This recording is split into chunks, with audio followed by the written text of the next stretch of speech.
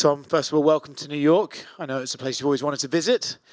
At this point, does it feel like a different sort of fight week because you had little notice, or now you're here, you're doing all the media, it's just like any old week you're coming into?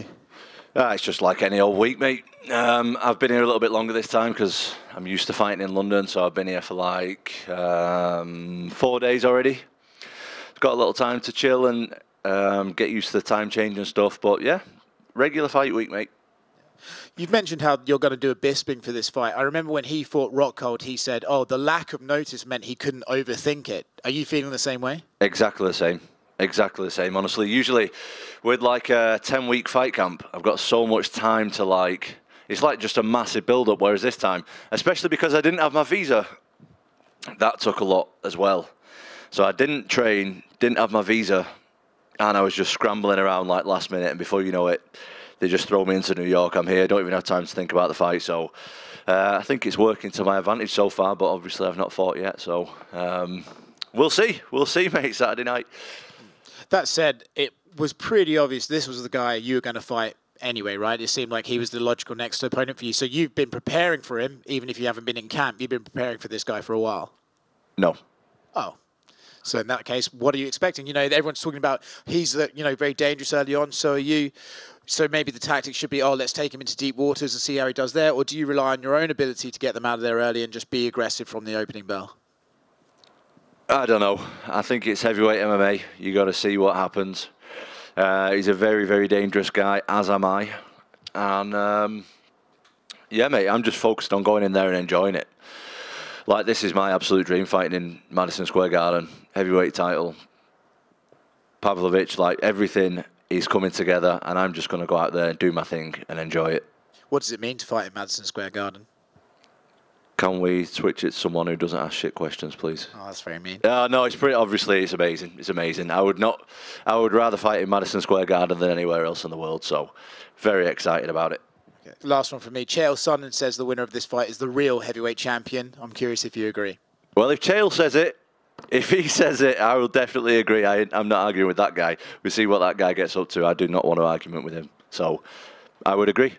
Tom, um, who did you think would be your most logical next opponent if it, when you said no, that when Oscar just asked if Sergei was your most logical one next? Um, I wasn't really saying no to the fact that he was the most logical next opponent. I was saying no to the fact that I was preparing specifically for him. I wasn't preparing really for anybody. I was preparing for yeah, nothing. I was just in the gym training, helping other training partners who's got fights coming up and stuff. So I wasn't really preparing for anybody. And what did you make of Sergei's last fight? Because uh, when, when he fought Curtis Blaydes, a lot of people seemed surprised that Curtis wasn't shooting for takedowns. But I guess if you watch that fight back, Curtis was landing a lot of strikes. Sergei was just walking, kind of walking through them and walking through Curtis's power. So what did you make of his last performance? Yeah, I mean.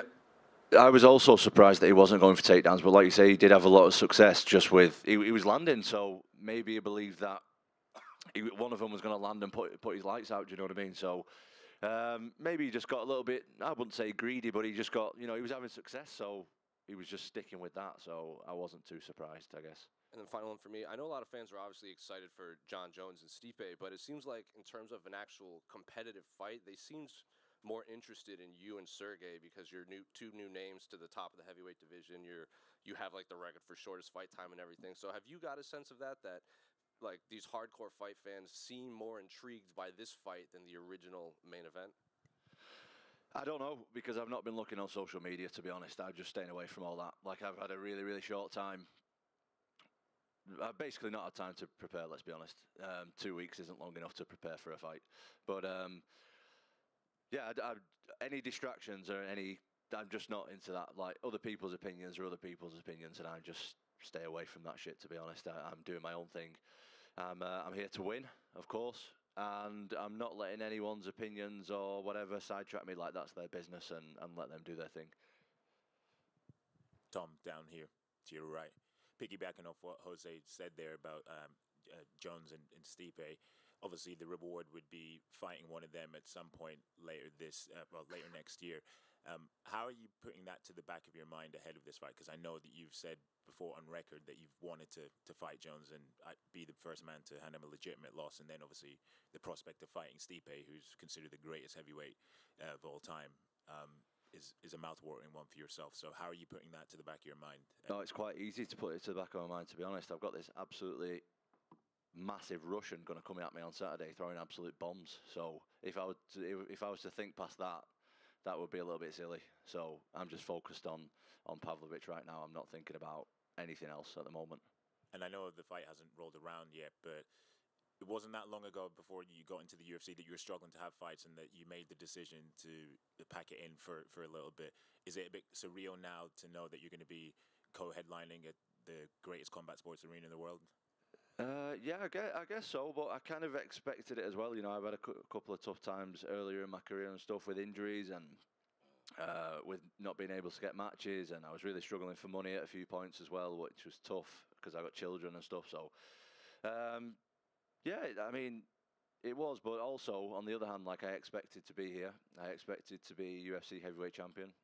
I expected to fight in New York one day, and um, yeah, so it, it is and it isn't. Like when I think back about how far I've come and stuff, it's good, but I don't really have time to do that. Like I think that's something that I'll look at maybe when I've retired because at the minute I'm just like in the moment. At the minute I'm just looking forward to Saturday, and I'll think about all that stuff probably when I've when I'm done with this sport. And the odds are seemingly stacked against you. I mean, fight, taking this fight on two weeks' notice is defying defying the odds something that you're relishing that prospect. I like that. I like it a lot, to be honest. Um, I'm fighting the scariest guy in MMA, in my opinion, in the worst circumstances possible without a training camp. But I obviously think I can win. Like, I'm not the kind of guy who shows up for money or who, you know, I, I ain't signing a contract and showing up if I don't think I'm going to win. Like, I truly, truly believe that I can win on Saturday night and that I'm going to win. I'm an absolute winner and I'll find a way to win, no matter what the circumstances. So, um, yeah, the odds are definitely stacked against me, and it'll be even better when I when I win the title on Saturday night. Cheers, man. Thank you. Oh, hello, mate.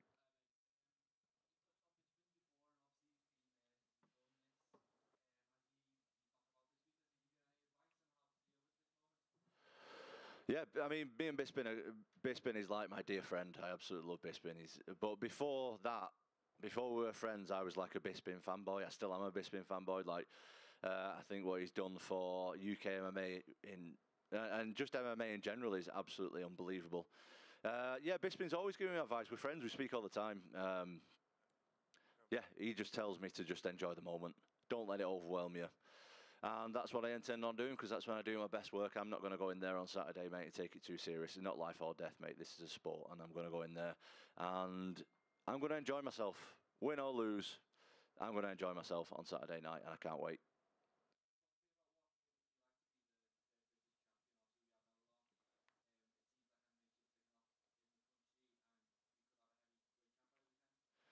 Yeah, UK MMA right now is absolutely wild. It's so like the level of the guys in the UK for such a small country is unbelievable. Um, to be the third heavyweight, sorry, the third UK champion and the first UK heavyweight champion is something.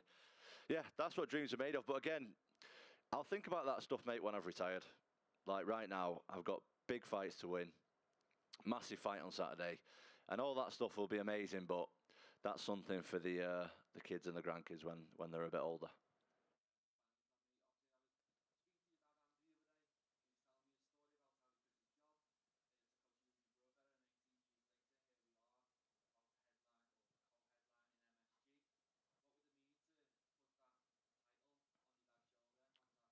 Well, that that's the that's the most important thing for me. Like he, ask anybody who I've ever trained with. Like I've trained at plenty different gyms all over the world. Uh, obviously, uh, I've been training, mate. I've been involved with martial arts since I was eight years old, and I'm 30. So it's, it's been a long time. It's been plenty gyms. It's been plenty travel. There's been a lot, and every single person in every single gym will know my father because he's there literally every single session. Literally every session, near enough, from the time of me being eight years old to me now being 30 years old. He's been there, so um, yeah, that'll mean that'll mean everything to me to give him the title. Tom, just over here, just going off of that, you know, he's been such a, a massive part of your career. What was it like giving the news to him when you first heard that you would be taking this opportunity?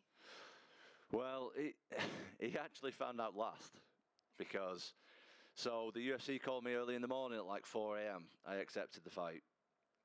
And they announced it straight away, which is something that I didn't realise that they were going to do. I thought they were like going to, I don't know, leave, leave it for a while or whatever. Maybe I'll let me sign the contract first. But um, yeah, they announced it like instantly at four, well 4 a.m. But I don't know what time it was in Vegas, but it was 4 a.m. UK time.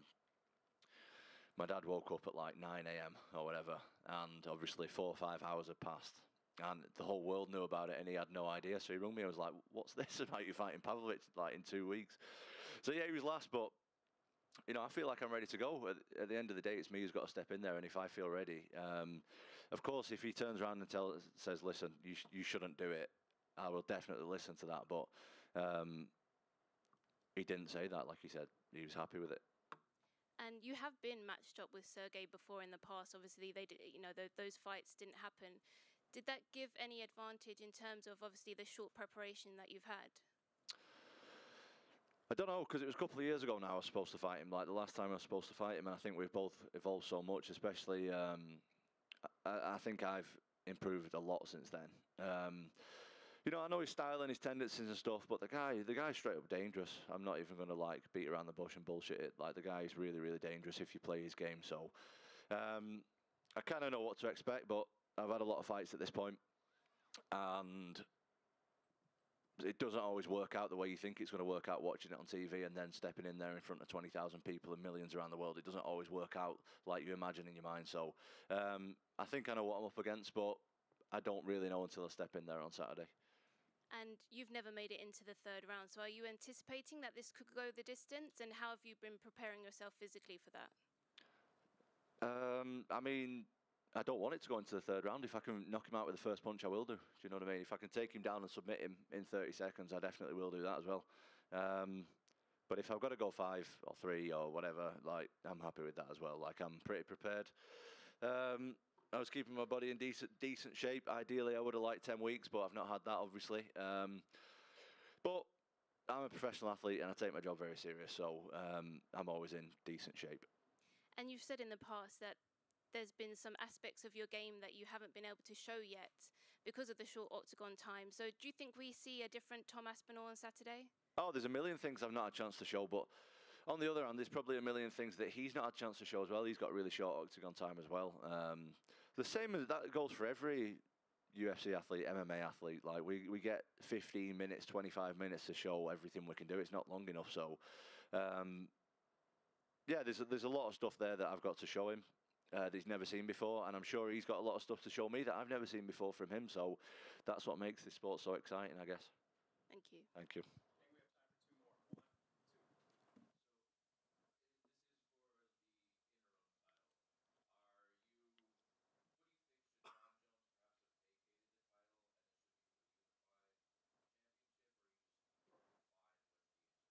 I'm just fine with the interim. I'm not too bothered. Um, it'll all work itself out, I'm sure. Um, Jon Jones is obviously uh, one of the best to ever to ever do it. I would love to share the octagon with him one day. Got a lot of respect for him. Uh, absolutely love his game. Massive fan of his. But um, as far as if it's for the interim title or the the vacant title, doesn't really bother me too much.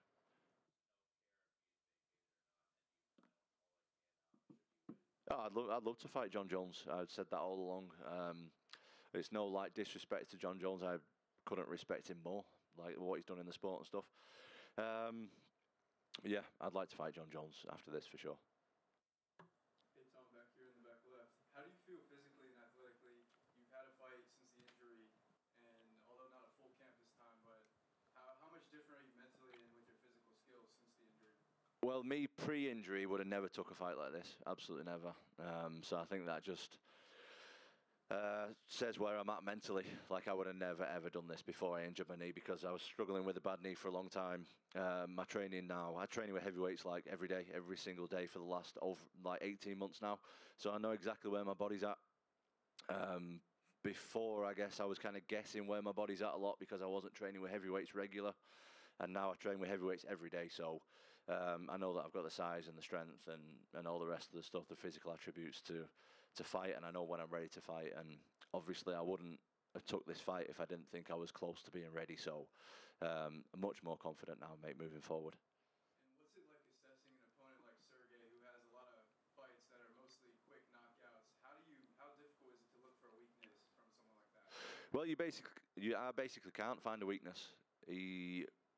I don't think anyone can look at his fights and be like, this is where he's good and this is where he's bad because he's not really shown much bad at this point. So, um, I just got to do my thing. I got to. The biggest advantage that I've got is he's fought no one who moves anything like me because there's not a guy in the heavyweight division who moves like me at all. So you can't prepare for me. It's it's really difficult for my training partners who train with me every day to be able to figure out what I'm doing. So.